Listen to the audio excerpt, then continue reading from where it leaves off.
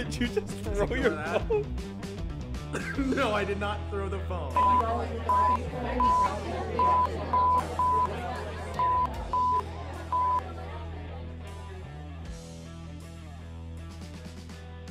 Hey everyone, thanks for tuning in to another episode of Beg Pardon, uh, special Hall of History edition. As always, I'm your host Anthony, joined by Carlos, Hello. and welcome to the show. Uh, so we have an awesome show lined up for you guys today. Hall of History today, we are going to do DC versus Marvel, um, comics and in the cinema as well too. Um, we're going to cover a broad history of both organizations, the impact that they've made here in the country and abroad, um, and how they impacted us uh, directly uh, as people. So uh, stay tuned. Uh, it's going to be an awesome show. Um, and again, appreciate. I, I try to say it as much as possible. Uh, we appreciate so much you guys tuning in, subscribing, and downloading our podcast every single week. Uh, without you, um, I would uh, just be in my PJs uh, watching TV. But now I'm also in my PJs um, from the shirt down uh, at my desk instead. So uh, I definitely appreciate that. Yeah, and uh, you know, it's it's fun to be able to do this and you know share our opinions and it seemed like you know other people care about it than just us. So thank you for making us feel like we're at least a little important at times. Uh, but before we dive into the history of the comics themselves, we want to take a moment to, of course, recognize the tragic and heartbreaking loss of Chadwick Boseman, who was only 43. Um, that's far too early for anyone, and for me personally, and again from you know the comic standpoint of it, Chadwick Boseman really threw the doors open um, and took this character and made it his own. Basically, um, he will forever be synonymous with T'Challa. I think, um, much like Mark Hamill is for you know Luke Skywalker and things like that. Chadwick Boseman will always be T'Challa. There really won't be another. And you know Chadwick Boseman did such a great job at also while he was going through you know all of the, the surgeries and his chemo, he still took it upon himself to make this movie because he realized how important the movie was. And I think that in and of itself was it transcended more than just the genre or even movies that transcended an entire community, you know, and, and it was such a monumental moment that I think we will forever look back and realize Chadwick Boseman moved us all forward as a society with his devotion to this character and I I can't, you know, express enough how heartbreaking it is for him or for us, I should say. Yeah. Um, you know, I, and I think for me, um, being um, being an artist um, myself, and mm. you know, growing up. So growing up, you um, whether it's in in cartoons, um, on TV, um, hell, sometimes even in church. Um, no matter where I was at, uh, the uh, the misrepresentations oftentimes and pictures and images of, of, of hope, of safety, of security, of power, of romance, of knowledge, of success. They didn't look like me and you spend your whole life not having that. And I think, uh, similar to what you said, I mean, this transcended. You know, it, it, it, it was more than just another Marvel blockbuster, billion dollar break, record breaking movie. Mm-hmm. I mean, it showed. Um, it showed that somebody that looks like me or somebody that looks like so many people can do can can be successful, can can can be kind, can be noble, can be brave, and I'm at a loss. I'm at a loss, honestly, and I think that. Um, I mean, not even to focus on other movies because that's not the topic of this show. Uh, but you know, for this also to happen, you know, on Jackie Robinson Day, um, he played Jackie Robinson, and on, on on Jackie Robinson Day in the MLB, he passes. Um, and and this country, this country is going through um, a, a, what I hope ends up being a seismic shift in the way that people who look like me, people that look like my friends, people that look like my brothers, my sisters, um, are are treated differently. And I and I uh, I'm grateful um, to uh, Mr. Boseman for for e- e- being a being a, um, a motion forward um, for us uh, in a positive way. Uh, to be uncompromising in his morals, uncompromising in who he was as a person, um, and more importantly, who he was as a black person, um, and, and to really move uh, this country forward. Uh, so I, I think it's, you know, I don't know. 2020 sucks. It sucks. It does. Yeah. And um, it, it's, a, it's a tremendous loss uh, for so many people, most importantly, his family. Um, you know, I, I just, um, I've uh, limitless uh, respect and admiration uh, for somebody who, who dedicated and gave so much um, to so many people. Yeah. So uh, before we dive in, we're just going to take a brief moment of silence to remember Chadwick Boseman. Um, so if you wouldn't mind joining us, uh, we'd really appreciate it.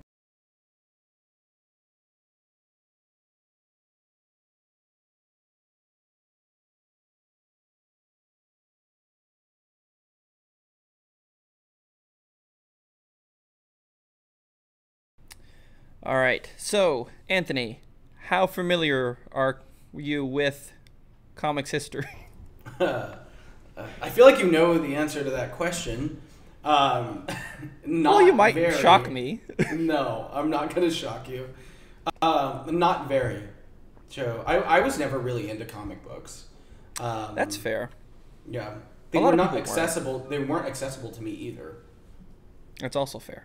Yeah, I could not. I would have to travel over an hour to even purchase one. I didn't grow up with the internet. Jeez. Yeah, there was no. You sound like you grew up in- in a town in Footloose though, where like they burn the books. like, we know we didn't have a book. We didn't have a bookstore. We never had a library. We don't have any. oh my god. You've seen where I lived. Like I grew up in a town of like 196 people. We had one stoplight, a gas station, and a dairy aisle. A dairy aisle is an ice cream parlor for those of you that don't know. But that's I thought literally you it. meant literally a dairy aisle. no, like people. I mean, they got a Dollar General in like 2011, and you would have thought you would have thought it, they hit the big times. I'm serious. So That's there was so just crazy. it was just not accessible. That just wasn't my world. It just wasn't accessible to me. That's that's understandable. Well, comics themselves, I think, were originally supposed to be treated as like this disposable, like highly accessible thing to people, but it was just disposable, fun kid stuff. I mean, they started all the way in 1938, and that was originally DC had started. It was known as Detective Comics first. That's where the DC comes from, boys and girls. Um, and Detective Comics had, you know, just been like these little genre stories here and there until um, Jerry Siegel and Joe Shuster. I always pronounce his name wrong. I want to say it's Joe Shuster. Is it true? Um, I always get Shuster's name wrong. Uh, they created Superman, and Superman came out in 1938, Action Comics number one, wow, that's a lo- oh my god, that's a long time Yeah. ago. Yeah. in Cleveland. Yeah, they're from Cleveland. Woo. So if you ever go to the Cleveland airport, I don't know if it's still there, but in the baggage there. claim, there's a huge Superman uh, exhibit, I guess you can call it, because it is pretty Yeah. big. It was there last year. I don't know. I haven't been there since Okay. last year, so it was still there then. Fingers crossed it's still there. All right. Uh, but in that time, they kind of had a boom of characters because not too many years later, Batman, who debuted in Detective Comics, and Batman, more famously, everyone knows Bill Kane or Bob Kane, excuse me, drew Batman. However, there is a great documentary on Hulu called um, Batman and Bill, I believe, and it explains to you how Bill Finger. Hulu. Yeah, that's on. It, Hulu. it is on Hulu. Yeah. Uh, Bill Finger is the one who did everything you know and love about Batman, and Bob Kane took it, made it his own, made a backdoor deal with DC to bury Bill Finger, and Bill Finger later on went on to write like one Adam West episode of the Batman and died in his apartment alone with overdue notices because he didn't really have money because Bob Kane screwed him out of it all. Wow. So, anyone who loves Bob Kane, I'm sorry to burst your bubble, but the man was a monster. Batman is amazing because of Bill Finger. He's the one who did the Batcave. He's the one who helped come up with like the villains, all of that. So, Bill Finger, you are a hero in my book. Um, but also around that same time, Wonder Woman came out. So you already have the big three before 1950, and Right. DC was just steamrolling at that time. Um, And you know, people are probably wondering when did the Justice League and things like that come? That didn't come till later, but around 1940 1941 they did do a Justice Society, and that was with characters they had already established. So was this in was- response? So sorry to interrupt you. Was this No, Wonder Woman, uh, like especially Wonder Woman and then this Justice Society? Was this in response to the sentiment in the world at the time, like World War II, or did this have nothing to do with it? I, it just seems very convenient timing to me. It seems like it would Sure. be together. So I know I've heard stories that Uh-huh. Superman was created because either Jerry Siegel or Joe Shuster, one of the two, their dad was like mugged and they wanted they were hoping like where was this person to save him? Like if this person existed, that's why he came about. Um, the Justice Society, I want to say it was in response to the events that were going on because that was the first time anybody's really pulled all these characters together. Right. Um, but Wonder Woman was actually created by a Harvard um, psychologist, William Moulton. Moulton Marston. Um, he created Wonder Woman, and Wonder Nice. Woman had a weird history because although she was a female-powered like superhero and she was like really strong and everything, he made her weakness originally like she would lose her powers if she was put in chains by a man. Like if she was like bound by yeah. It was a really weird like history with Wonder Woman. It was the 40s, so. so yeah. The, even the, the he had- of the. yeah. Even he had a weird history uh, or weird relationship, I should say. Him and his wife ended up bringing in like one of his students or his student aides into their marriage too. So he had like two wives. Oh, wow. So he himself had a weird dynamic, um, and that kind of plays into Wonder Woman's earlier stories. So if you ever have a chance to reread some of Wonder Woman's earlier stories, and like, this is weird, that's why. Um, but later on, you would see Timely Comics come about, which Timely Comics was uh, 1939, I believe, and Timely Comics is what would come on to become known as Marvel Comics.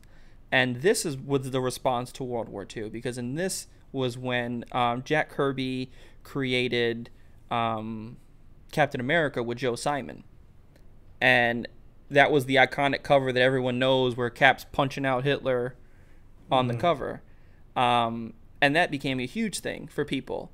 But the common misconception is that Stan Lee created Captain America, and he didn't.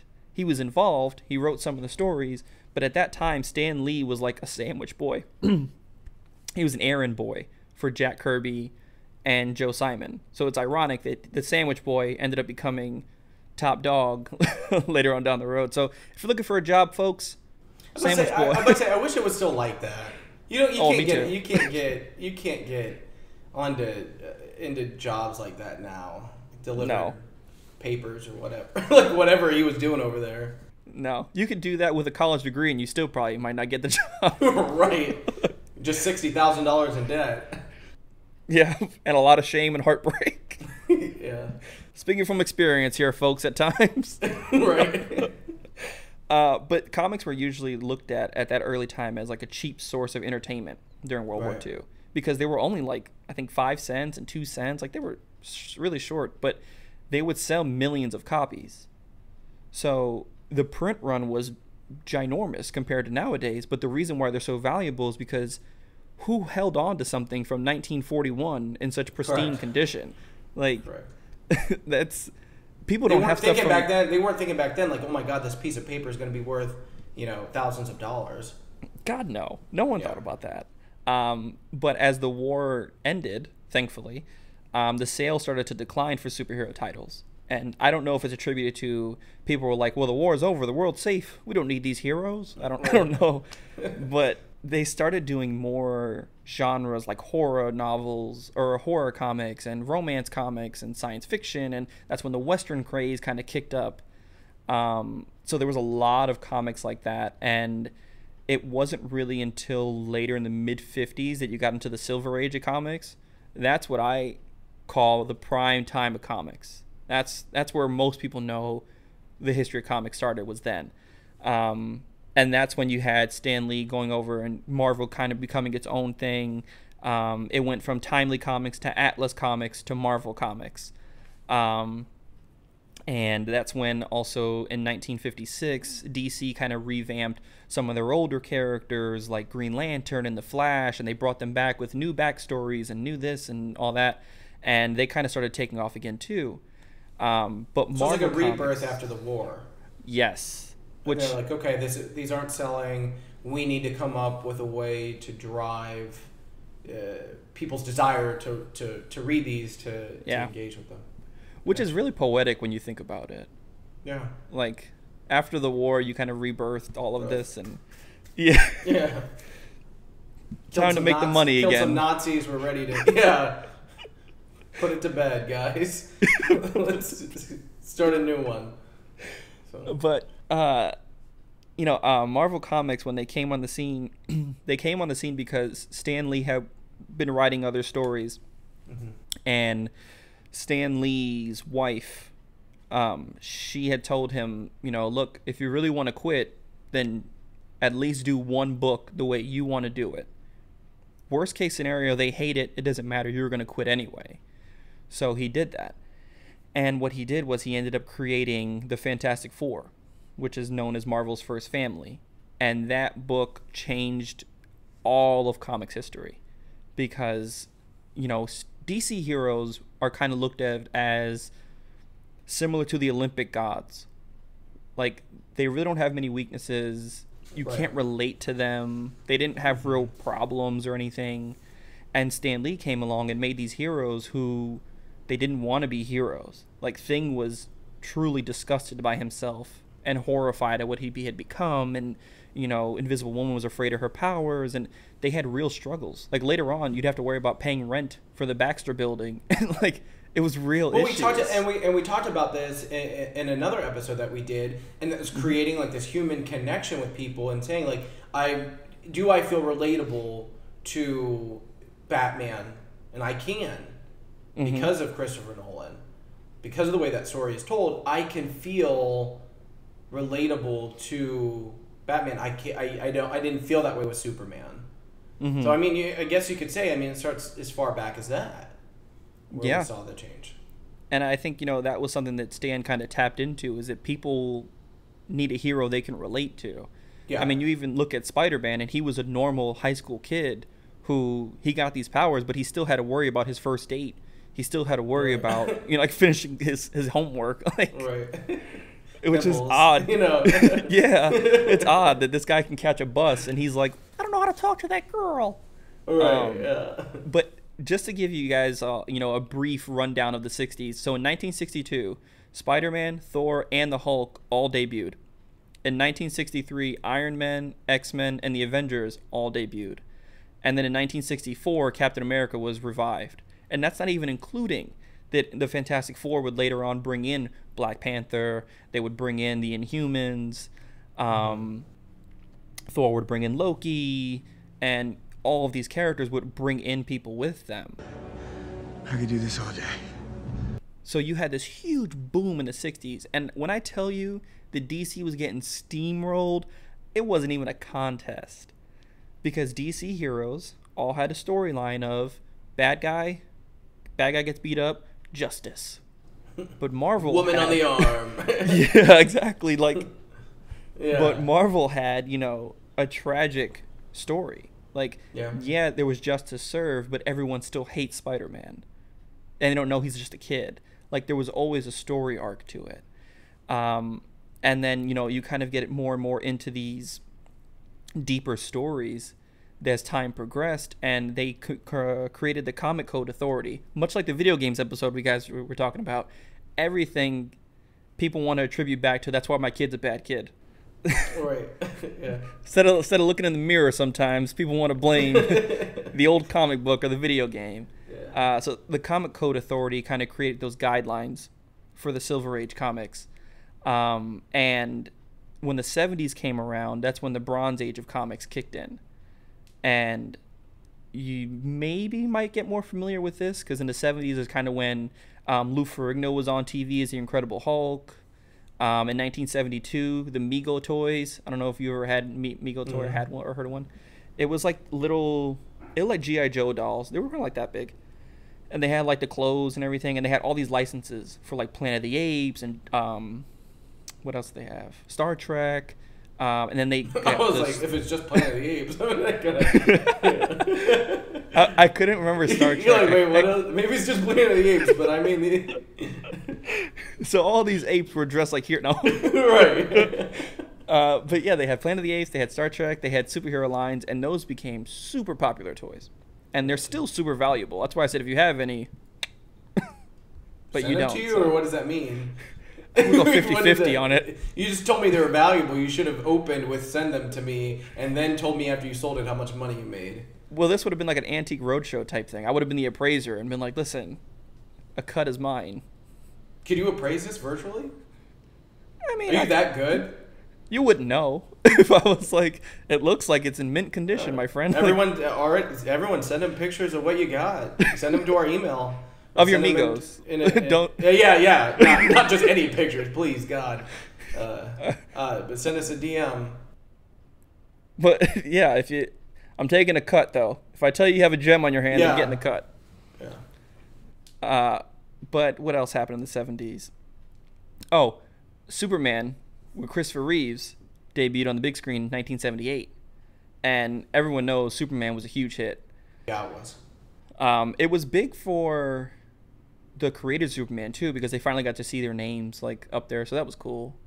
Um, but during that time, you had comics grow darker, and I think this is where the movies kind of pull from now. Is you had Spider-Man was involved in the death of his girlfriend Gwen Stacy, in a horrific way. So, spoiler alert if you guys haven't read the comic, Gwen Stacy like falls off a bridge because of Green Goblin and Spider-Man goes to catch her and he shoots his web and when he catches her with the web the force from falling snaps her neck and they show it in the panel like her neck just like snaps back and she, that's like, what kills bounces her because of the. like yeah you see her back like snap because of the force of the web so Should have just. He should have just let her hit the water. like at Was there water point- down there, or was it? yeah it was off a bridge oh. so i mean at what point do you really like Yeah. Spider-man maybe you did more harm Who and knows? again, and again, I, I, I feel like it, it it's a tone and a sentiment for the time period. I mean, look at New York City, night circa 1970. mm-hmm Real rough. yeah you had a lot of rough. gangsters and mobsters and all that. Yeah. And, I mean, Chicago, 1970. All these all these major U.S. cities in the 1970s, crime was terrible, terrible. Mhm. terrible. And they even had, you know, around that time because horror films were getting bigger and bigger. Um, they had characters debut like Doctor Strange and Alan Moore did Swamp Thing. Ghost Rider came in. Um, Blade, which everyone knows because of Wesley Snipes. um, uh, uh, but Blade came in, and the comic code was kind of like, "Whoa, you guys are flirting with danger here." And they actually banned, well, not banned, but they said like you can't put this comic out without the seal because Stan Lee had made a comic where drugs were becoming a rampant thing in the 70s. Yeah. And Stan Lee had made a comic where this kid took a bad trip on, I think, acid or something like that, and he thought he could fly. And Spider Man had to like try to save him as he was like falling off a roof and stuff, and it really dove into like the consequences of drugs. And Stan Lee put it out without the Comic Code Authority okaying it, which was a huge ah. But because of that, we got a Green Lantern and a Green Arrow comic where it's a super famous cover. It shows. Uh, it was at the time it was like ah. It shows Green Arrow's uh, sidekick Speedy with his arm wrapped around. And he's about to shoot up heroin, Oh and Green Arrow walks. in. This is on the cover. so you know you go from Superman like this to shooting up heroin on on a cover like that's a stark jump in a matter of like have that? 15 Can we years put it up on the screen for the, for the folks Yeah. to see in the video? right here, Yeah. folks. Um, but you know that's kind of the, the style of comics they were taking. Green Arrow and Green Lantern also went on. It's actually if you know if you are interested, there's a whole um, omnibus of it where you can find all the comics in one book. It's an interesting read where they traveled the country, and they see you know these injustices that we fight here. What's it like out there? And they see like segregation, and they see all these real injustices that go on, and they kind of contemplate what's their role in all of this. Like if they're saving all these lives they're still not saving these people who are affected every day by these things. And it was a really powerful storyline. Um, but then you know in the 70s you also got into alan moore creating watchmen which they just had the series about they made a movie about and watchmen kind of came out and they're on that time and then you had later on late 70s early 80s frank miller would go on and do like the dark knight which is what batman vs superman was based off of he would go on and do um, daredevil and change daredevil's character up he kind of made it a darker tones um, and that's kind of you know when people start taking comics more seriously because now it was serious literature being written with like darker stakes and hero Not just for hero. kids. Yeah, not just for kids. Um, but during that time, the DC and Marvel war was so intense because uh, artists were like freelance. So you were basically work for hire. You didn't own any of the characters or anything. So a lot of the art looks similar between the two books because it's the same artist. So what I, I I'd read, there's a book called Slugfest, if anyone's interested. Um, but what I read was that they would often like cherry pick the artist from either company because at one point in time they were in the same building. Like Oh my god. so there was a lot of Like go over there today. yeah. sorry, sorry guys. Sorry about that. like there was a lot of people who claimed um espionage type things where like they stole my script, they stole Right, my right, right. drawings. Um Doom Patrol came out Everywhere in the country and they had to be in the same building. My god. Exactly. right. You could have literally went anywhere. Well, I think it was that the same company that produced DC Comics, like actually put it out, the not the publisher, but whoever actually like helped them get on the, the racks, owned both. Like they did both, so they were there for time purposes, I guess. Wow. Um, Yeah. But like Doom Patrol, which is a big show now, came out I want to say eight months before X Men came out, and people were like, ah, I think Stan Lee stole that idea because in Doom Patrol they're led by a man, a bald man in a wheelchair, and Strangely reminiscent. exactly. Uh, but that story got debunked because they said there's no way it wasn't enough time for like eight months sounds like a long time, but back then to Him like to take the comment and out. come up with all the yeah. Yeah. So they were just like coincidence. But that's why a lot of characters in Marvel and DC look similar, is because a lot of the artists and the writers kind of bounce back and forth. So That's crazy. Unknowing to yourself, you might think like, oh, "I have this million dollar idea," not realizing that it's your idea because you heard it a week ago in a pitch meeting. Right. Like, that would be like if you and I went on another podcast and like, "This sounds amazing. Today we're gonna cover this, guys." Right. like I think we should do that. exactly, which we don't do at all. We we come up with these topics all on our own. Fresh. We have the pulse of America right here, right, here. I'm about to say. I'm about to say. Clearly, you guys know that we come up with them on our own because they're obscure as hell. So I think clearly, you know, there's no science behind this. exactly. But then uh, in '85, now we're getting closer to our time, so you might you might Okay, be there with me. I mean, I'm not here on this earth yet. Don't anyone get any ideas, but I'm here. You're getting there. I'm, get, Uh, I'm getting there. 85 they came out with crisis on infinite earths which a lot of people are familiar with. Um, dc had the multiverse. So dc had you know there's an earth x and an earth 16 and all these different flashes and all these different earths. And what they did was they made this giant event to put all their universes into one. So there would be one flash not 52 other flashes. Right. and it was crazy at the time because they were killing off heroes that you didn't expect and they stayed dead. Like it, they didn't come back. So there's a, a iconic cover where superman's holding supergirl and he's crying and supergirl died in that comic. Um, the flash died in that comic to save like the multiverse. He ran on his treadmill and he's running on his treadmill as fast as he can to like kind of merge them to merge them.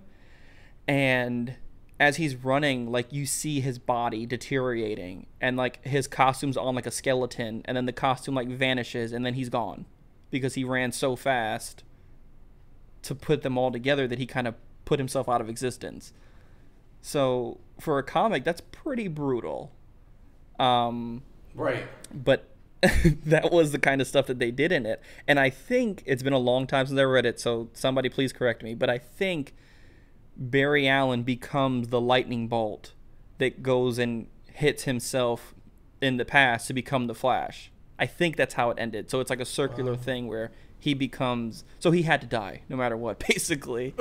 um but then like in the 80s they also killed Robin from Batman and Robin horrifically where I think it was I think it was late 80s. Joker kills him with a crowbar. Like he beats him Like to beats death. him to death. Wow. Yes. Well, he's still alive. And and then they blow up the building. So did the crowbar kill him or did the bomb kill him? but you know, you have all those and then you know, in the 90s um I think it was 92, 91, they kill Superman, which was unheard of. Yeah. Um, he can't die. But they killed. Yeah, and then he came back to life with some BS. Like his heart rate just slowed so much that everyone thought he died, and he wore like this all black suit. It was a, a solar suit, and it kind of like absorbed the sun rays because that's where he gets his strength. So he came back to life with that, and he had like a long like mullet type haircut, like a mane, like a horse, Yeah. like a steed. like he was in an Old Spice commercial, just kind of flowing in the wind. Right. Uh, but one character they haven't killed that I've known of is they haven't even attempted to kill Batman. So I'd be interested to see that storyline where like they're like, Batman's dead, folks. They've killed Captain America. But yeah, Robert Pattinson's They've like, no, I think he should live for. Well, I think he should live for a while.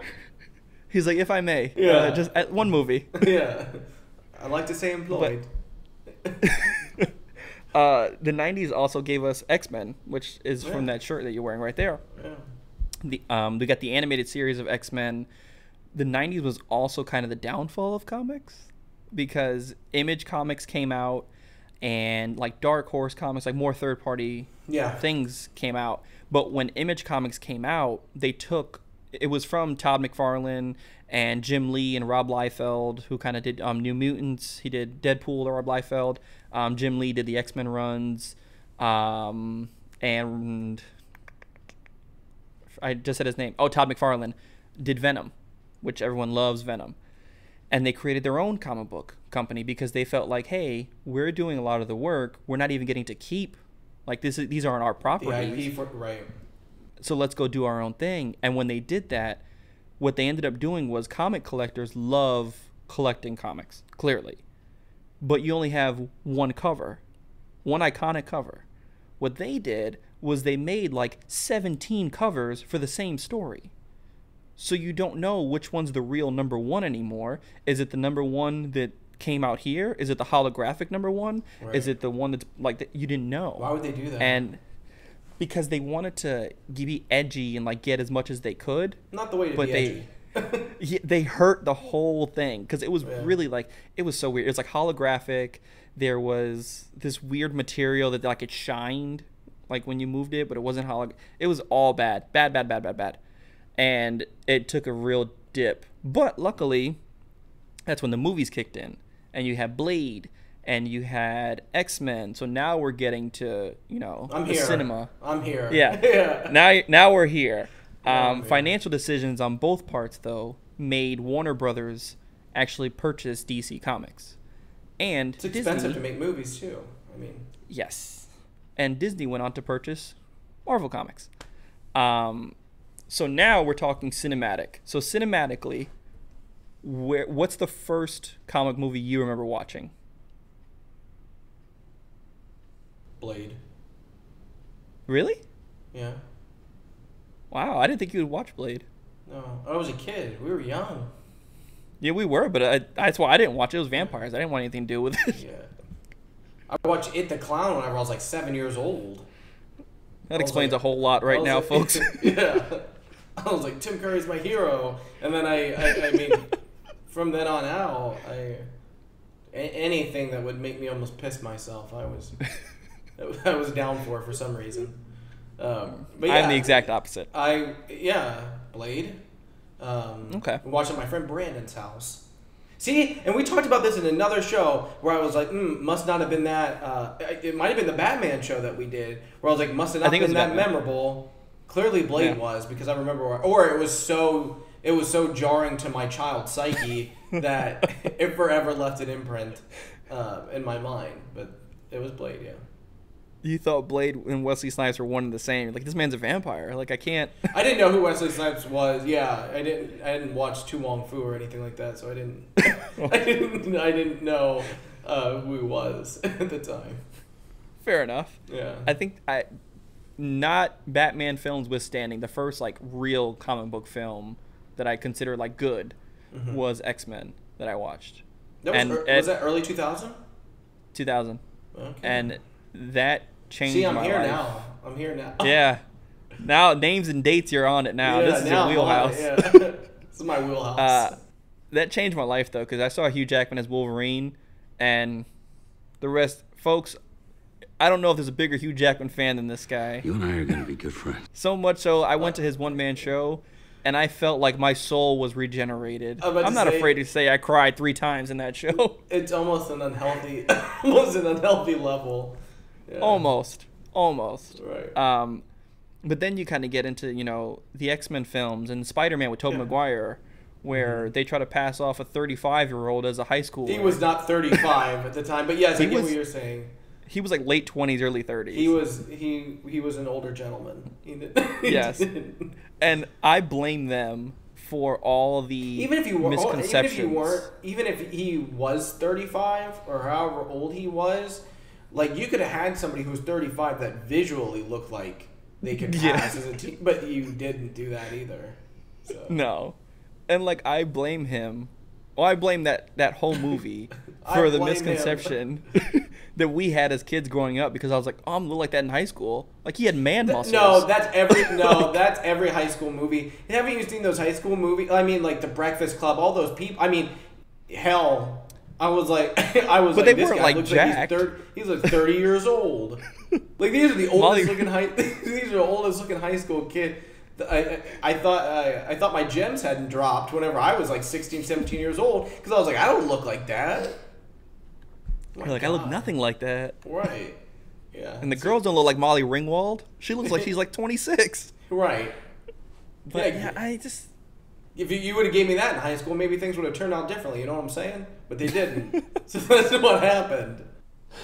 Uh, but you know, I think that that was really the where they started trying to suspend the disbelief a little less Yeah. because they try to make it look like you know they were high schools. He was only in high school, I think, one year. I think he graduated the next year. So, But and again, it was like trying to connate, connate, create that connection um, with the audience and with people uh, on a, a human level. Because I mean, not I'm not going to say this because I don't know for sure, but notwithstanding. Uh, the art of cinema in the the arena of cinema um, wa- was I think much more competitive at that time than the arena of comic books. You had Oh, your yeah. giants in comic books, but I mean cinema was super competitive.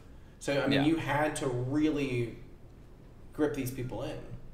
Yeah, and by the time Marvel Studios kicked in, everyone was laughing at them basically because they were like, "You're gonna take these B and C rate characters? Like, no one cares about Iron Man. You lost X Men. You lost Fantastic Four. You lost Spider Man. Like, how are you gonna make this work?" And And Robert Downey Jr. is like, hold my beer. yeah, he was like, "You know what? I cleaned up my life, and I'm ready to rise like a phoenix." that from the ashes of captivity never has a greater phoenix metaphor been personified in human history. right. and they didn't want to Killing it. insure him because because of that because of his history. They were like mm-hmm. nah man you're you're too much of a wild card. And they went ahead and did it with him. And folks we all wept when he died in that movie. I, did. i don't know. If you say you didn't you're a liar or you're not a real fan. Or a sociopath. Yeah. One That of- man One of the three. had a happy life. Happy life with a child. And then he goes ahead and does that for us. He didn't have to. He didn't have to. But he did it all right Doctor Strange is like, eh, he had to. That's what He's like, that was literally the one chance. Yeah, that was literally the only thing. I mean, I couldn't really do anything about it. but you know, now that we live in the cinematic um, time, where comic book sales are they're decent, but they're kind of declining a bit. But I think this, if you can get your hands on a cinematic property, though, people are like, that's that's a gold mine. I'm sitting on a gold mine. Right. Um, little Mrs. Doubtfire for you all. Yeah. If you I could do a whole at- ep- episode dedicated to that movie. one thousand percent. We might actually. I'm about to say, a- tune in, folks. I think we just got our next topic. See, this is how they come about. This is exactly how they come about. This is how you know there's no plan for anything. Uh, so, Hundred percent. Mrs. Doubtfire will be coming up. Just Yeah. hang on to your seats, folks. Make sure you watch it first because it's gonna be a spoiler-ridden Right. episode.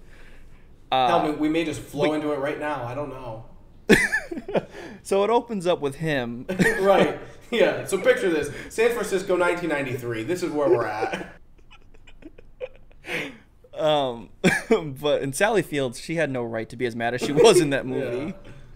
At least he was a good dad. Uh, Yeah, Yeah. like you know, again, we're he was a hero, is what we're saying. He was a superhero there, for his actually, time. there's going to be an episode about it. There will be. There just is now. Yeah. Now, now it's it's for sure, folks. Um, but with all the cinema growing, and you see how DC, we talked about it with the Batman episode, is kind of making strides. Do you think that DC will ever catch up to Marvel, or do you think there'll be the friendly competition? But it's always kind of like you're not gonna. I mean, it's competition, but not really. I, think that there's potential to. I think that there's potential to whenever you have. Um, uh, you can't have very many missteps. That's what they need. They need solid. I mean, solid, solid, solid showings, and it needs to be.